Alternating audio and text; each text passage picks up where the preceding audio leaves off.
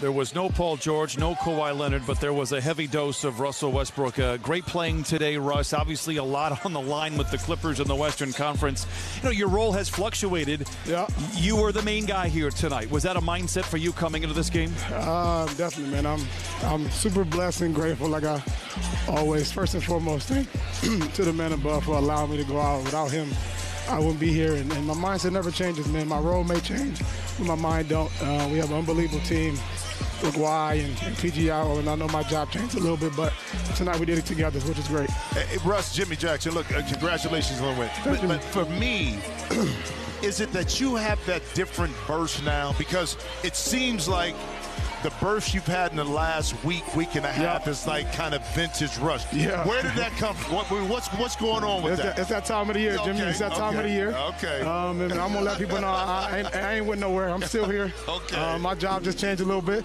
but my job is to keep competing, keep my burst there. Year, you know, year 15, I'm still jumping, Jim. I'm still going. Man, I'm jealous.